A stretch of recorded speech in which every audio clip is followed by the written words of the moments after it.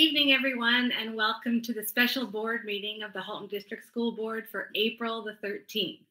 I hope you are all well. Uh, tonight, we'll be using a combo of Google Forms and the Hands Up function in Google Meets. The links are available in the HDSB Remote Meetings links page that was sent to you earlier today. With the Hands Up function, you should be able to see the speakers list in the side of your screen, but both Vice Chair Harrison and I will try to give an account of the order so that if it's building up, you'll have an idea as to when your question will be answered. We've also adjusted some of our voting procedures, but I don't know if that's important tonight to use unanimous consent.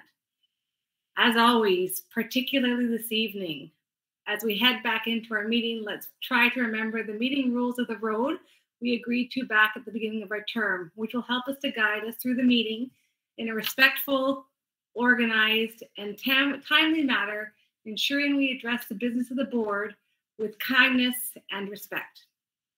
So I'd now like to take trustee roll call, and again today I'll do it in traditional alphabetical order. Trustee Amos. Good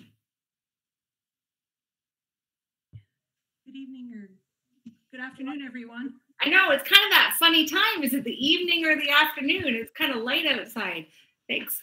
Uh, Trustee Bell. Hi, everyone. Wonderful. Thank you. Trustee Collard. I'm here. Good evening, everyone. Good evening, Trustee Danielli. Thank you. I am here. Uh, Vice Chair Ehl Harrison. Hello, I'm here. Great. Trustee Garrett. Hi, everyone. Uh, Trustee Gray. Good evening, folks. Trustee Grebenc. Hi, everybody. Trustee Oliver. Good evening, everyone. Trustee Reynolds. Present. Trustee Rocha. Present. And Trustee Vigilankara. Hi, everyone. Wonderful. Director Ennis, could you please let us know of the staff that are in attendance this evening? Good evening, Chair Shuttleworth, the rest of the trustees, and to the public at large. Uh, just happy to be here for this meeting. We have with us uh, Associate Director Bogue, we have Superintendent Taha of Human Resources, and we also have Superintendent Terry Blackwell, who has a health portfolio. So we're happy to be here this evening. Wonderful. Thank you so much. Uh, so today, Vice Chair Ehl Harrison will be honoring the land. Thank you. Halton, as we know it today, is rich in history and modern traditions of many First Nations and the Métis. From the Anishinaabe to the Attawandaron, the Haudenosaunee, and the Métis, these lands surrounding the Great Lakes are steeped in Indigenous history. As we gather today on these treaty lands, we have the responsibility to honor and respect the four directions land, waters, plants, animals, ancestors that walked before us, and all the wonderful elements of creation that exist. We would like to thank and acknowledge the Mississaugas of the Credit First Nation for sharing their traditional territory with us. Wonderful. Thank you so much. Are there any declarations of possible conflict of interest? Seeing none, as this is a special board meeting, there are no opportunities to adjust the agenda. And really, there's only one item for discussion this afternoon, which is item 2.1, which is the COVID 19 update, focusing on masking protocols and further direction, if there is any, from public health. So, before we begin the meeting, I thought it might be a nice opportunity for me to recap the information that I received at my weekly chair conference with the Minister of Education. Um, I was lucky enough to be one of the first question askers on the list. And what I'm going to do for you now is I'm going to read my question that I asked him and then give you what the minister's direct answer was to me. Uh, so, my question was this With all the announcements from the varying public health authorities regarding the evolving situation schools find themselves in, we as a board find ourselves trying to find the right fit for messaging sent out, sent out to our communities. Here in Halton, our public health has recommended that Halton residents continue to wear high quality masks in indoor settings where physical distancing may be a challenge. Dr. Moore's press release yesterday also used similar language in encouraging masking. My question is this Is the ministry asking the school boards to use similar language in encouraging or strongly encouraging masking where physical distancing may be difficult? And as a follow up, can you confirm the individual authority that each board has in relation to the ministry's direction in terms of masking? So now to his answers, and I'm going to start with the second one first. As I've asked this question on numerous occasions prior to spring break and following spring break, and every time the answer is the same. It is no, full stop, provincial direction overrides board decision. So, with the first part of the question, what the minister did state is that again, his messaging has not changed since March break. Parents will make the choice based on their own risk tolerance. Local medical officers of health will understand the context and the risk, and we encourage encourage boards to consult with them. We should respect the choices of parents and school boards, if they so choose, can echo the publicly stated opinion of public health. So that's just a sort of a recap of what the answers were I got yesterday. And with that, I'm going to pass the mic over to Director Ennis for staff to guide us through their information. Director Ennis. Uh, thank you so much, Chair Shuttleworth, and good evening once again, everyone. The last three school years uh, have tested all of us. We have worked through COVID and the pandemic in a way that none of us could have anticipated. It has changed how we have interacted with each other. And we've learned to follow directives and mandates and recommendations throughout this pandemic. This is the third school year that has been impacted by this pandemic. And I can tell you that staff and students and everyone are simply exhausted.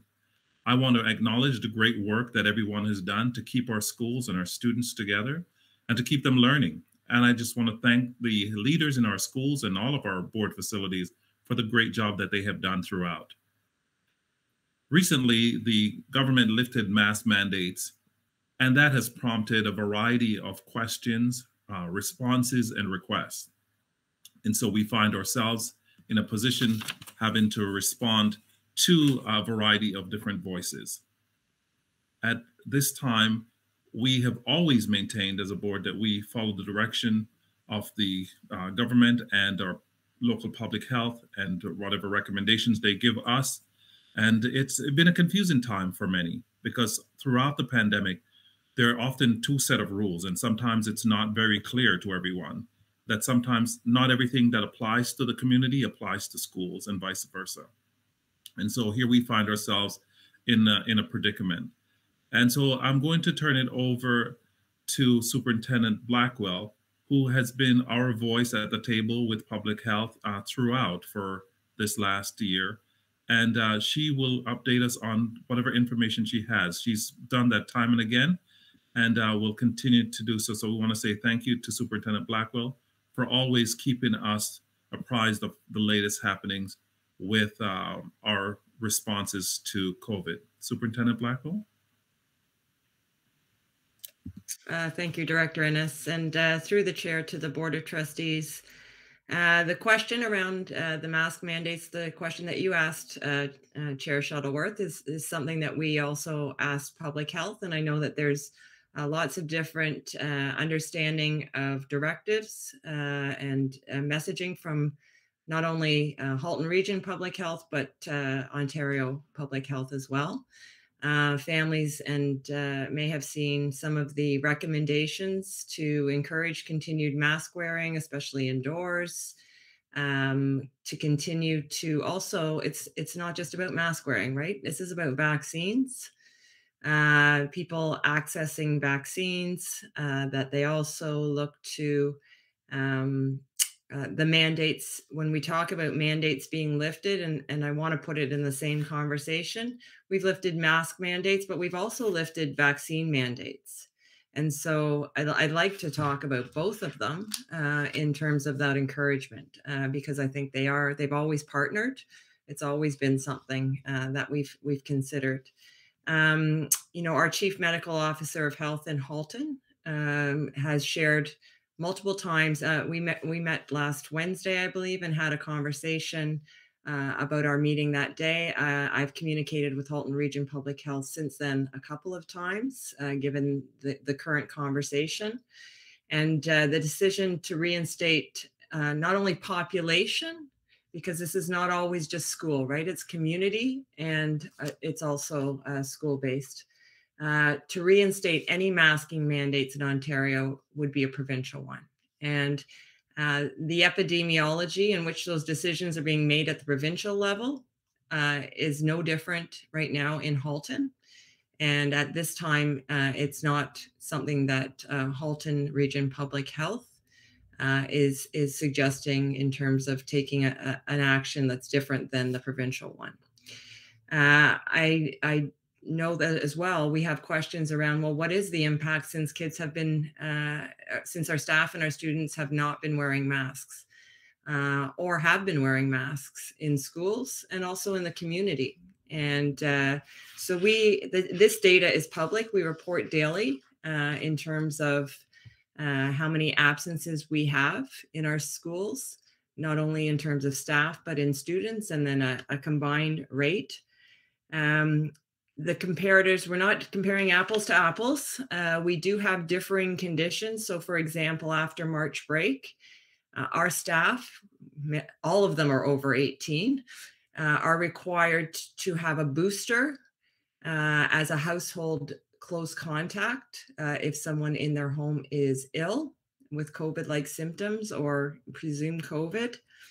Uh, prior to March break, staff could return um, with uh, having fully vaccinated two doses. So that landscape has changed a little bit. So the numbers, that may be a reason why some of our staff, uh, the absence rates have increased uh, with staff. So when I look at uh, January to March, so just before March break, the average staff absences per day uh, as a system are eight and uh, since uh, March break, uh, we have, since we've come back, they're about 11.2%. Uh, with students, we're looking at a 9 9.6% prior to March break, 12.6 following March break, uh, nine and a half percent overall with all of our students and our staff and our board. And we're talking about 70,000 people, which is a, lot of people. Uh, nine and a half percent of uh, all of Halton staff and students prior to March break, and then about 12 and a half percent. So we're looking at about a 3% increase uh, since those mandates have been lifted. And again, the comparators, uh, there are different changes to isolation requirements. What we do know is that people are still following the tool. And when they're symptomatic, they are staying home. Uh, and they are extending, they are using the testing strategy to return uh, to ensure that uh, they have rapid antigen tests available to them every day in our schools. A reminder to our families, they are there. The rapid tests are available for our students. They're also available for our staff. And, uh, and that ability to test to return is there. Um, the other thing is around close contacts in the community. Prior to March break, there were requirements around um, notifying close, close contacts and isolation. Uh, now, again, that has changed in terms of uh, our ability to return to work from the, the, close contact pieces. So it's 18 plus for our, the adults that, that work within our system. So there is a little bit of a tighter uh, lens on that in terms of isolation requirements. And uh, I guess for our trustees and, and for the public, and this data is public, um, we're looking at about a 3% increase uh, in, in, absenteeism. Um, so I think uh, at this time, with our, our direction from public health, you know, we are, we continue to not just look at masking, uh, we continue to, to support and promote vaccines. Uh, we, we promote that through any communication we get from public health, and we send that to our families. And I think it's sometimes hard when um, we've got community messaging sometimes that is very contrary or different than the messaging that comes to our schools. Uh, we have always had this. It just seems like we've always had school messaging at the same time that kind of parallels. So we've been able to, to report that to families or to, or to provide that information. We've had no change in direction uh, from the Ministry of Education since the return from uh, March break uh, around this and uh, and continue to have the conversations. You know, if if if public health and uh, as a province deems something uh, to change, as we've done many times, then we we follow and support and, and work with those mandates. Um, and I guess at that time, I'd like to turn it over unless uh, Director Ennis has something else to add, maybe some questions. No, thank you very much for that, uh, Superintendent Blackwell. Uh, we we can open it up to questions. Uh, back to you, Chair Shuttleworth. All right. Uh, thank you, both Director Ennis and Superintendent Blackwell, for all that information that you've given us. Um, so I will now open the floor um, to trustees for questions they may have.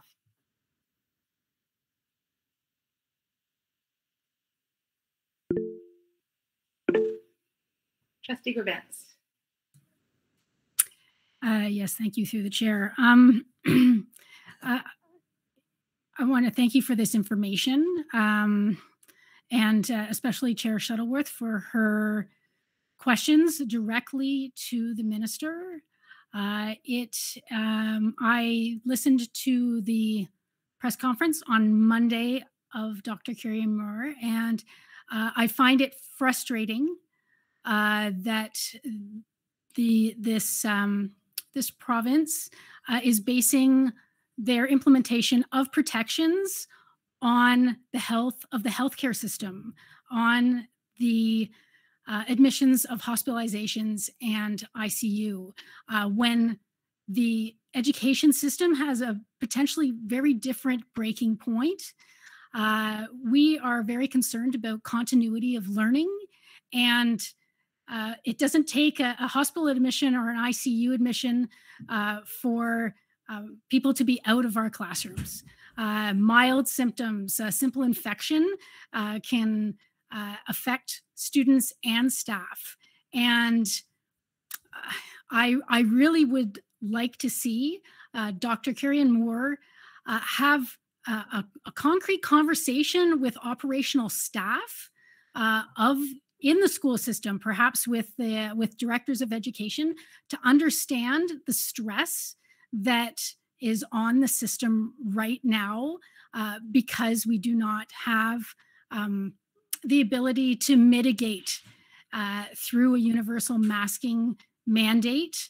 Uh, Dr. Tam federally, uh, many groups, uh, Public Health Ontario, um, the uh, Children's Health Coalition, they've all been calling for uh, a return to universal masking. And universal masking allows as well people who are vulnerable, either themselves, which could be staff or students, um, allows them to have uh, more control over their exposure to COVID. Without a mandate, they, they don't have that control. It's affecting uh, people uh, with students and staff being off work, especially from students who may have family members who cannot work if they're caring for themselves or their children. It's affecting income. It's affecting all sorts of things. And I, I think that that um, Dr. Moore and the minister, frankly, is blind to that uh, effect on the system by not having protections in place.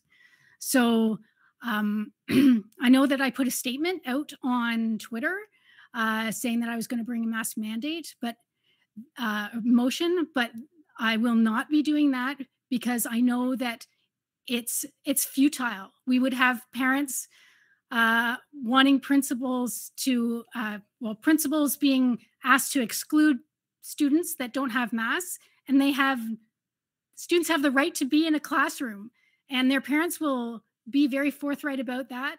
And so that is a futile and time wasting conversation. And what also will happen will is parents will be expecting that their children will be in classrooms full of masks. And when they find out that that's not happening, there the other side is going to be upset as well. And let's multiply that by, you know, 50, 100 students in a school or maybe even more. So um, our staff is been incredible during this whole pandemic. And to put that extra stress and burden on them at this time uh, for to have a mandate in place that cannot be enforced um, is just it's cruel. Yeah. So I am I, I I just wanted to say that. Thank you. Uh, thank you.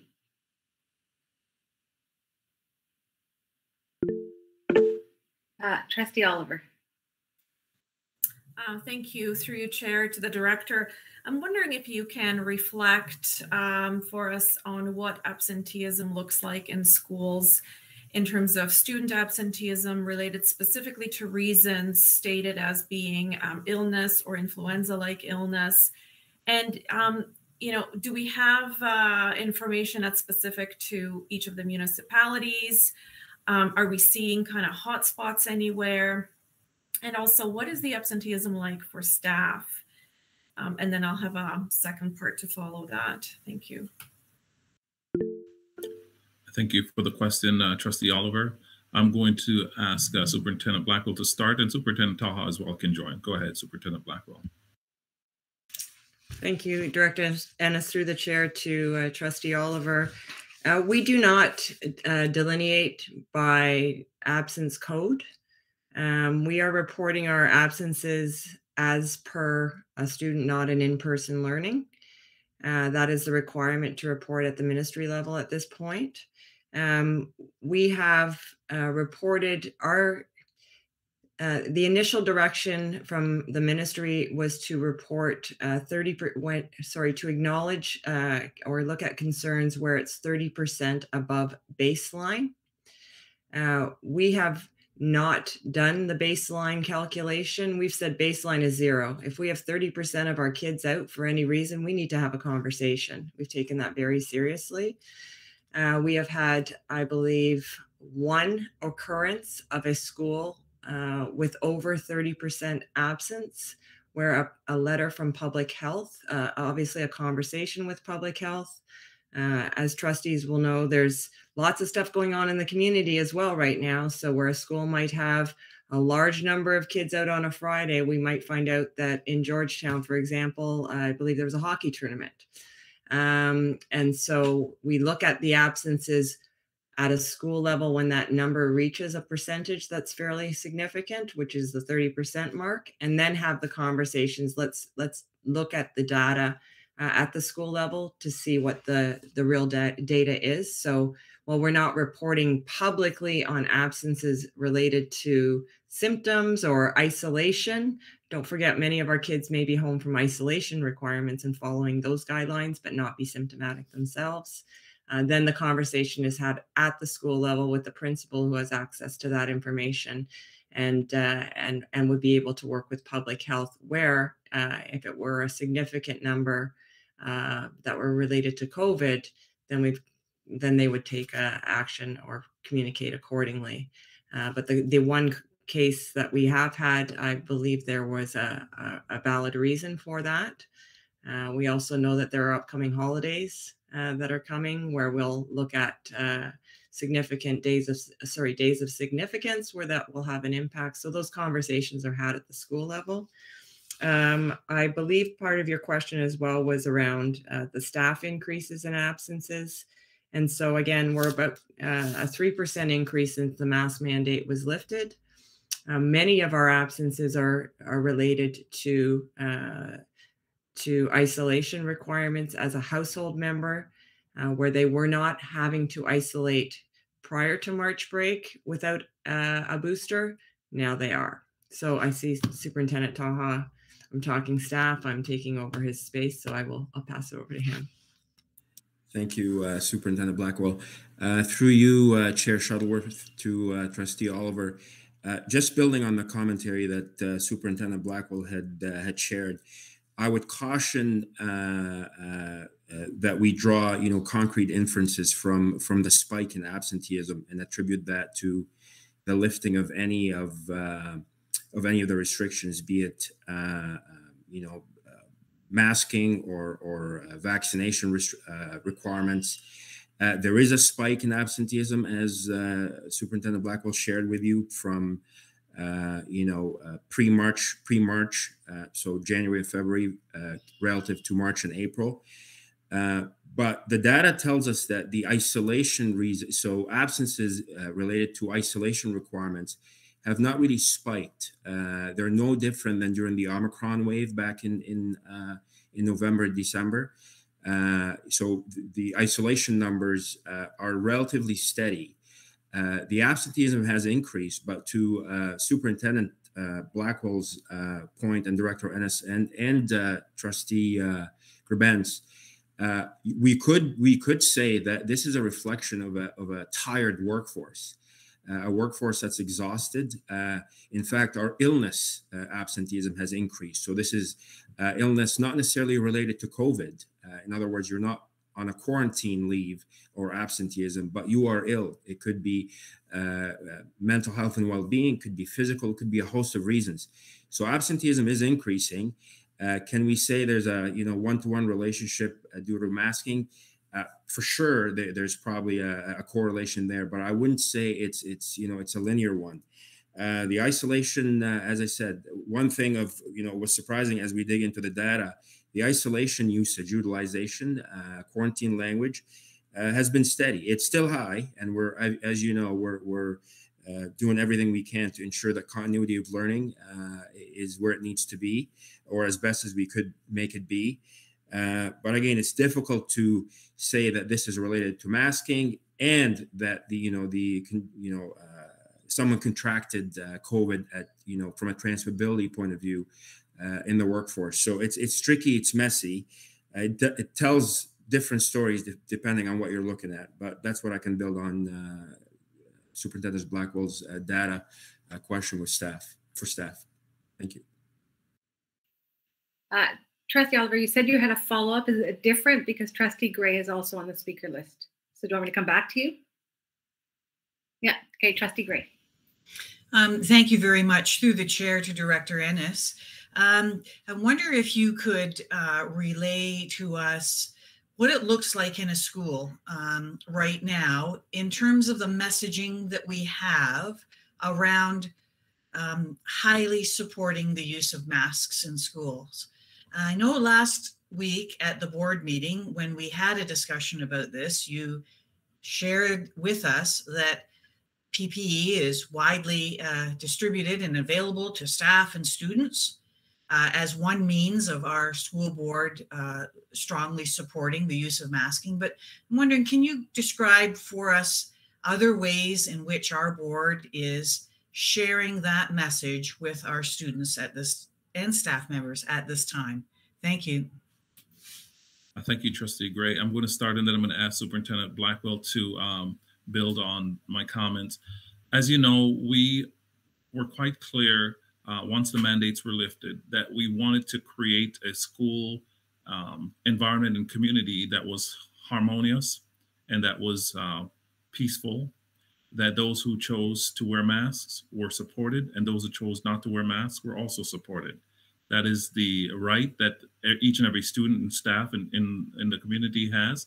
And so we, we wanted to make sure that we're building a cohesive community. That was really our focus. And I know that there are many things that we are doing uh, to continue to encourage, um, you know, that families and students, you know, should stay as safe as possible.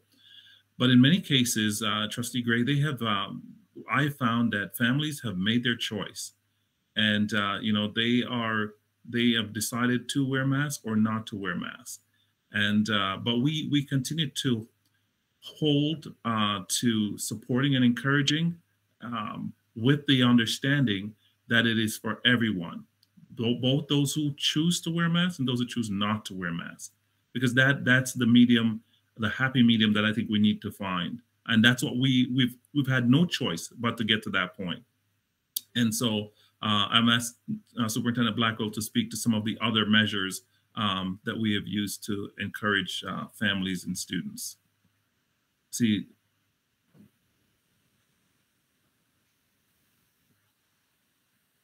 sorry, uh, through the chair to uh, Trustee Gray. Um, so our messaging uh, around masking and all of the the measures and reminders around vaccination, they come in, in multiple layers. Pardon the pun. Um, they uh, we share any information that's given to us from Halton Region Public Health uh, through system messaging. We also shared the messaging around uh, the return from March break. Um, we have not, as a system, shared uh, messaging uh, around uh, you know, recently around masking as a as a one-off example. Um, we will, uh, I think I shared at the last board meeting that there are lots of ways that schools promote uh, or encourage the use of masking with having the availability. So if somebody walks into a school, there may be masks available on a table at the front door. Um, there will be opportunities where uh, if school events are being run, I believe there was uh, there's an event happening, for example, at uh, Burlington Central. It's one of their drama shows and messaging in in the invitation to families, which we know that there are opportunities now to bring our families back into buildings. Um, that it is a mask friendly environment, and and they would have you know masks outside the door for those that want to wear them, right, uh, or that have may have forgotten them. Uh, so in, in, terms of how it's messaged weekly, um, it that would be up to the school level to do that. Uh, and as Director Ennis has said, uh, you know, our families and our schools are, have made their they have been living this for two and a half years, and and they have made the decisions uh, around masking and sometimes around vaccination. Uh, we are providing information uh, we're not the only people that provide the information and i think that that that's important for us to always recognize that it's not just the school responsibility and the, our school responsibility uh, to be the sole provider of recommendations or suggestions uh, that we partner with uh, community uh, the community in terms of that messaging um, so long story short, uh, you know, to, to be able to speak to what each school is doing, it's not something that I would be able to do but we continue to, and I see um, uh, Manager Denton is is also online. We continue to to message uh, where messages provided to us that we would be able to share with our families. Uh, that may be different uh, than what's there.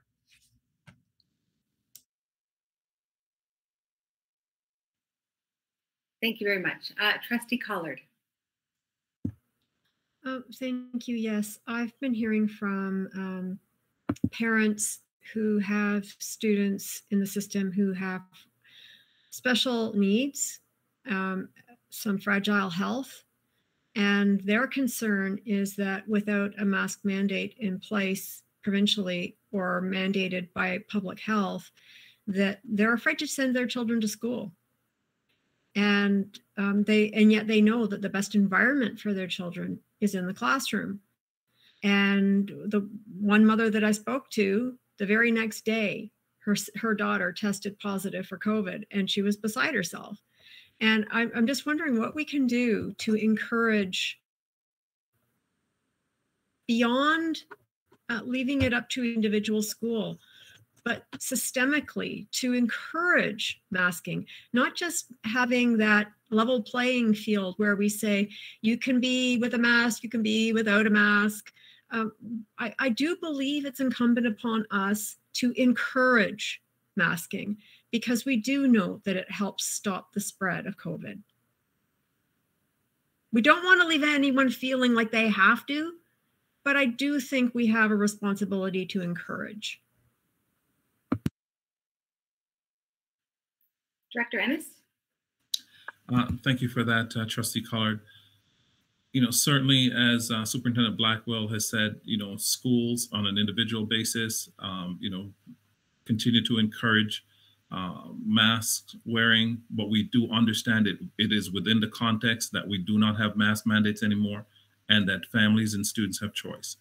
And so, you know, we operate within that parameter. Uh, I hear you, and uh, you know, it is something that we will will definitely reflect on in terms of our system message.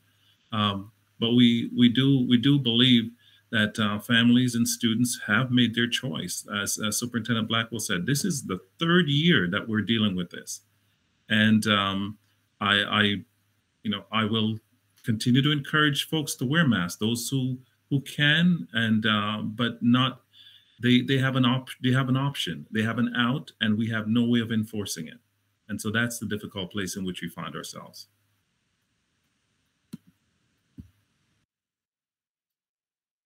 Thank you. Are there any other questions from oh, Vice Chair Ehl Harrison? Thank you. Uh, through you, Madam Chair. You were quite quiet there. I'm not sure. Can you hear me okay?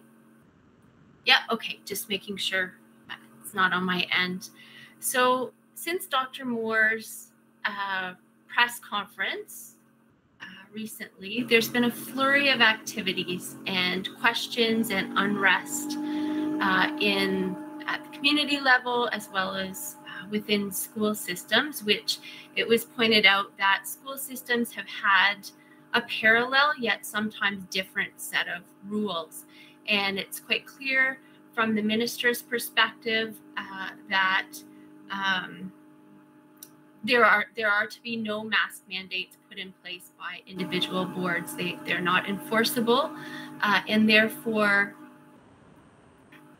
I would it would be really uh, difficult to achieve what Director Ennis is talking about that that strong cohesive community at schools if there was that um, burden on administrators to enforce something that's not enforceable.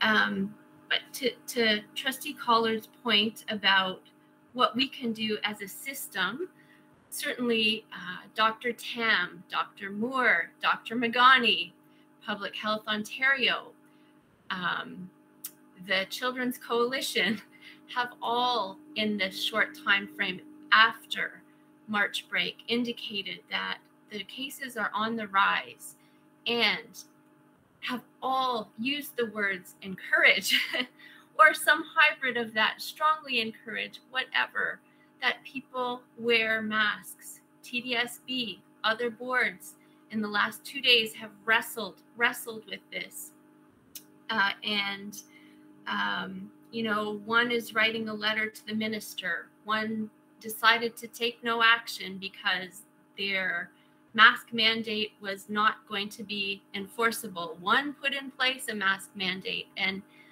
we're called on to be leaders.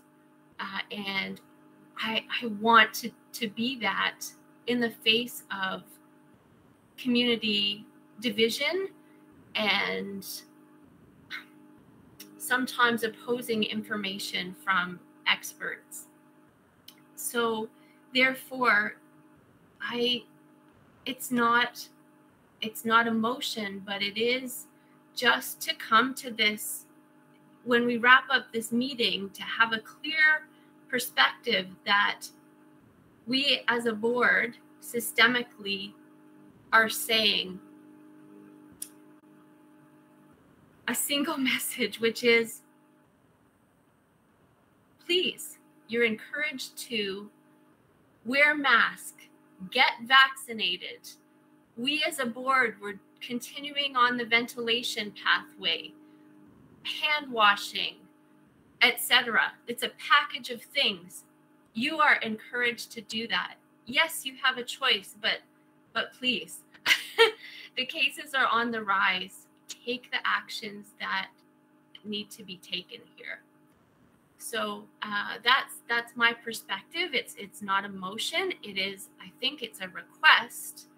Um, and the other piece is that we are spending countless hours of senior staff, staff in schools, worrying about spinning off in different directions, and we need to focus on health, well-being, and and delivering education. Thank you. Thank, thank you for that, uh, Vice Chair Ehl Harrison. Um, we are certainly going to reflect on uh, the words that we've heard from you and from all the trustees here this evening and uh, work in, in uh, conjunction and collaboration with our communications team, think about what message we can offer to our school communities to, to encourage them, um, given the parameters that we are working within. I think that's uh, always important to to keep in in focus. Thank you so much, Trustee Gray. Uh, thank you very much through the chair. I just wonder, uh, uh, and then to the director Ennis, I wonder if you could uh, share with us any of the conversations or directions that have taken place um, with regards uh, to CODE, the Council of Directors of Education at the provincial level. Um, I wonder if there's anything to share in terms of what other directors are are uh, discussing at this time in their boards in relation to masking. Thank you. Uh, thank you, Trustee Gray. At the at CODE the CODE level, um, Council of Directors of Education, the conversation really was about mask mandates, and uh, that's where the conversation uh, was being uh, was being held. So uh, certainly the uh, legal opinion that CODE received was similar to what we've all heard this evening: is that school boards have no authority to impose mandates and to move beyond the, what the, the provinces directed us to do.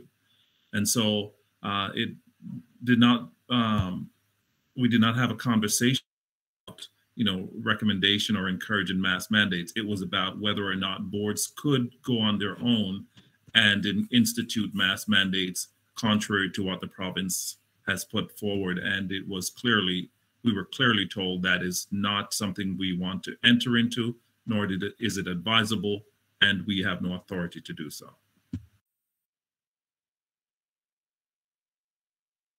Thank you. Trustee Oliver. Um, thanks through you, Chair, to the Director. I, I did want to build on the um, on the points raised by uh, Vice Chair Ehl Harrison.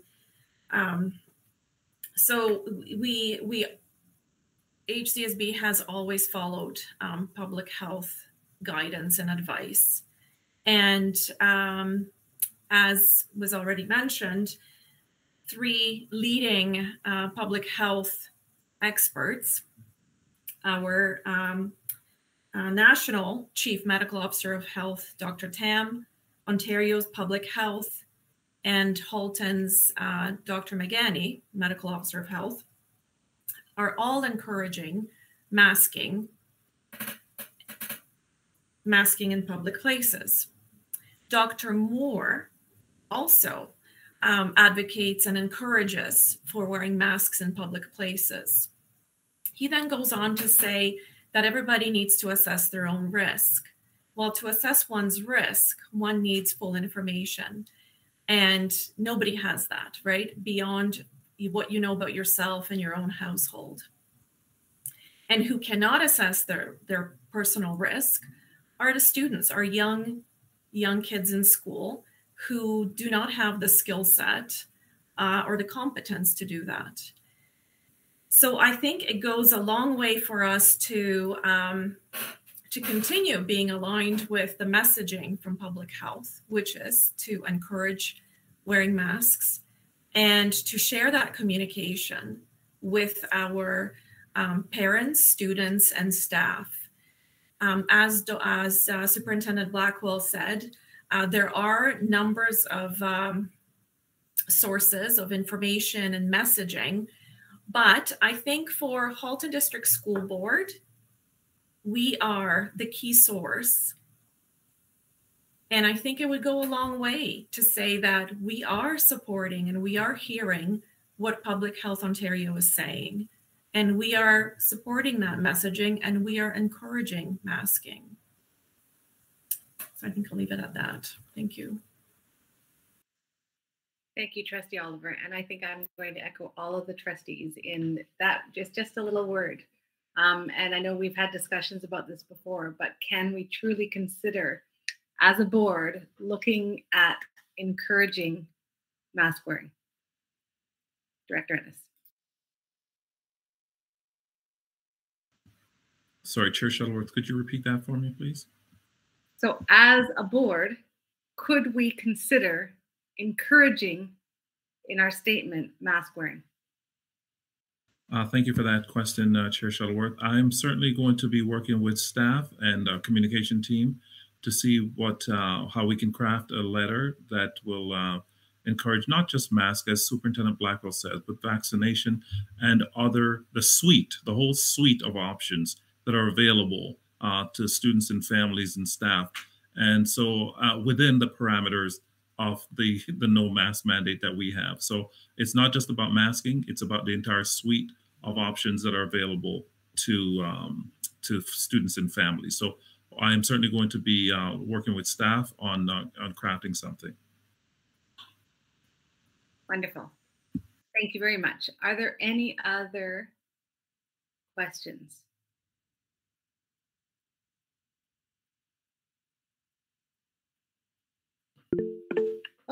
Vice Chair Harris. Thank you. Um, when I thought about, through you, Madam Chair, when I was thinking about uh, possible motions for this meeting, the one that popped into my mind was to request that the minister clearly lay out whose jurisdiction is what with respect to these matters. But upon reflection, I recognize that in a number of press conferences, the premier, the minister have both um, made their perspectives clear on whose jurisdiction is whose. Um, as well, the minister wrote a letter, I believe, to Hamilton Wentworth District School Board uh, with respect to their motion on continuing mask man- mandates in particular. So, I, in my mind, I feel that piece is uh, is very is clear out there with respect to the provincial uh, perspective uh, and kind of the the box that we or the guidelines or parameters within which we are are trying to operate. So so again, uh, no motion there, and you are now you have you're on this record at this meeting of also conveying what the minister has said directly yesterday. So um, hopefully that piece um, can can be out there in the community. You know, I think that would be be helpful because for me, I am I am trying to lead within no matter what walk of life we're in, there are rules that are imposed and I don't always like them.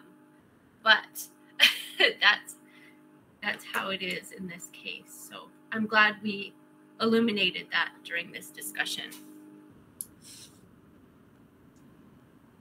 Uh, Trustee Gray. Yes, thank you very much. Uh, one of the things that I thought about in preparation for this meeting tonight was what's the end game? What do we want at the end of all of this? And I'm so pleased to hear from Director Ennis that instead of uh, a, a, maybe a passive approach to this and the encouragement of masks, we may be, upon reflection and upon his discussion with other senior members of staff, we may be taking a more active approach in the um, um, suggestion and encouragement of the use of masks. And, I, and I'm very thankful for that, Director Ennis. I think it's the right way to go. I, I, I it, for me, it was the end game out of this conversation was a more active approach. So thank you very much. Thank you, Trustee Gray. Trustee Oliver, I didn't know if your hand was up or not because it went away. Go ahead. Uh, thank you. Through your chair to the director and I think you know with with any kind of messaging that's meant to um, um, reinforce uh, or support behavioral changes or continuing adherence, um, people have to understand the big picture. What is the end goal? And you know, obviously, it's to keep everybody healthy and prevent them from getting sick. But the the goal here too is, you know, we are in the business of education we want to keep our schools open. We want to make sure that classes are filled with healthy students and that teachers are coming, you know, to work and teaching with high um, teacher absenteeism rates. You know, you end up getting supply teachers and those teachers do not know their students as well. So if there are, you know, any um, kind of special circumstances or whatever, that that teacher will not be able to um, fully understand the student's needs. So the students are deprived. When a classroom is half empty, the teacher is not going to, uh, you know, take on new uh, content from the curriculum because they they can't start teaching something new to a half empty classroom And so that continuity of learning uh, now becomes a gap. And we already know in the last two years, our students have lost out on uh, and have gaps um, and deficits in their learning, um, gaps in terms of their opportunities for sports clubs, extracurricular activities. And we do want our students to go uh, and uh, you know enjoy all the milestones that come through with their academic year, and that includes uh, you know special events and especially graduations for the grade eights and the grade twelves.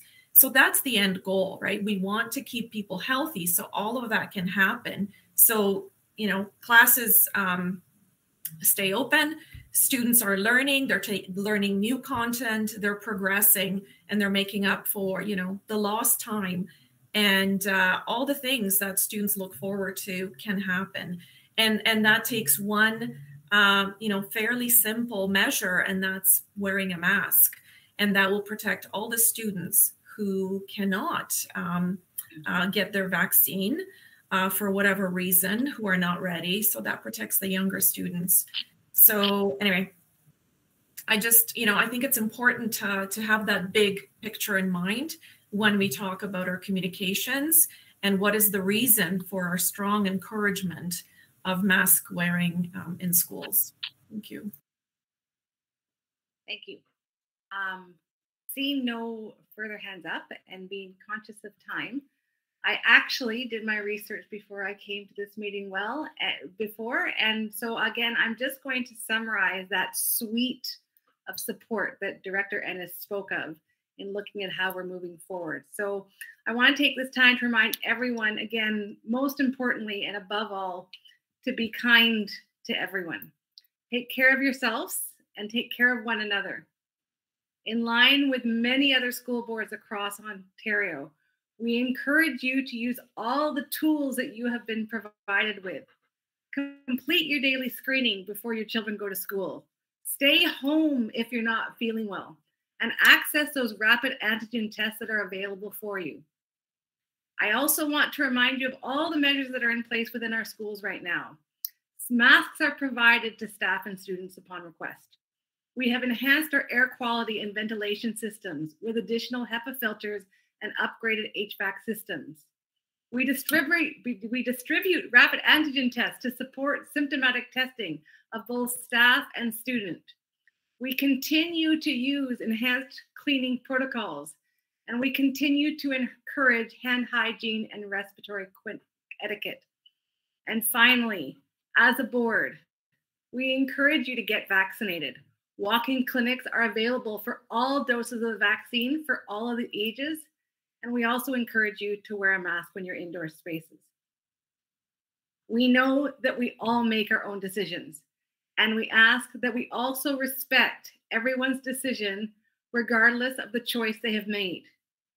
Thank you so much to all of our staff and our students for everything that you have done in moving forward to today. And with that, I declare this meeting adjourned. Thank you so much.